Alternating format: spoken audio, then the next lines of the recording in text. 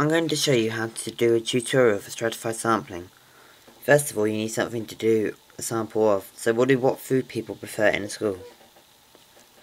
Because you won't have time to interview everybody around the school, you might as well just choose a sample.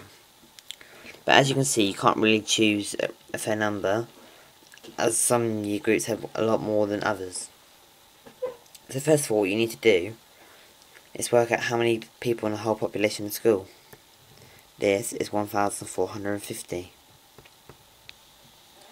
To work out the size for each year group, for example, you have to do the number of the people in the year group divided by 1150 and times by the sample size, which is 50. So we'll start off doing 203 divided by 1450 times 50.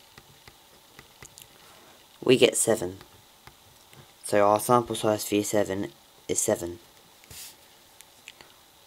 For year 8, we do 323 divided by 1450 and times that by 50.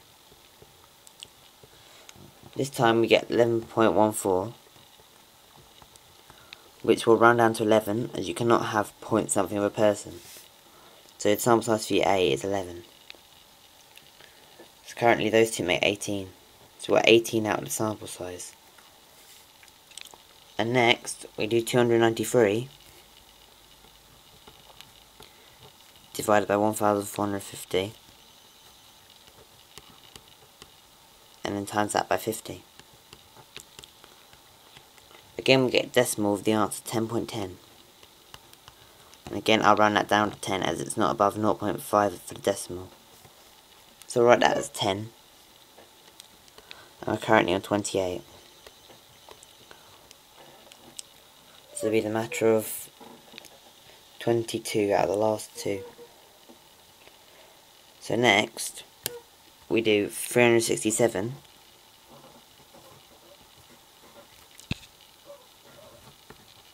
divided by 1450 and times it by a sample size 50 and we get the answer 12.66 which I'll round up. As you can tell 6 is above 5 so we'll round that up to 13 now this is now becomes 41 so we know this will be 9 but just to double check we can do 264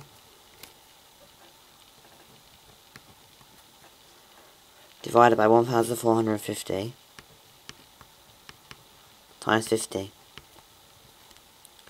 And we get the answer 9.10, which I'll round down to 9.